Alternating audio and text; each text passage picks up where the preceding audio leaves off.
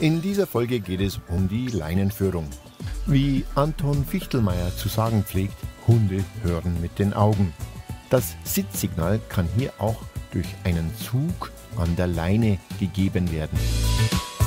Bei Stop and Go ist es wichtig, dass Ihr Hund lernt, Ihre Körpersprache zu lesen.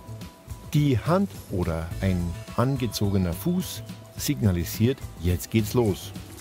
Zwei, drei kurze Trippelschritte signalisieren, ich bleib gleich stehen. Und ein leichtes Beugen der Knie signalisiert Sitz. Das Schöne an dieser Methode, was mit Leine funktioniert, funktioniert auch ohne Leine. Jetzt geht's los. Ich bleib gleich stehen. Sitz. Jetzt geht's los. Ich bleib gleich stehen. Sitz. Hier noch ein paar Hinweise.